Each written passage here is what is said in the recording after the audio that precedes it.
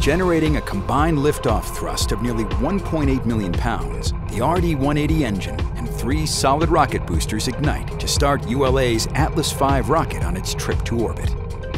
Shortly after liftoff, the 1.7 million pound Atlas begins a pitch over to attain the proper flight path while minimizing the dynamic pressure the rocket experiences during flight. Within the first minute of flight, Atlas reaches Mach 1, the speed of sound. Within the next two minutes of first stage flight, the Atlas V rocket will jettison all three GEM 63 solid rocket boosters and will then more than double its velocity. Once the rocket has climbed above the densest part of Earth's atmosphere, the payload fairing is jettisoned. With the majority of its propellant expended fighting against the force of gravity, the main engine shuts down, followed by release of the booster stage.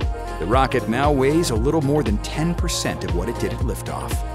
To deliver the twin SES-20 and SES-21 satellites to near geosynchronous orbit, Centaur will perform three engine burns.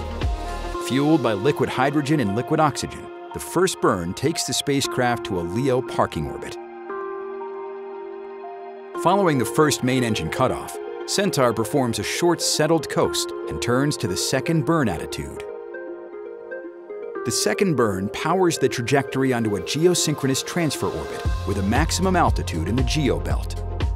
Following a multi-hour coast, Centaur comes alive for a final burn as it prepares to release the SES satellites into near-circular, near-geosynchronous orbit at an inclination of just 1.9 degrees.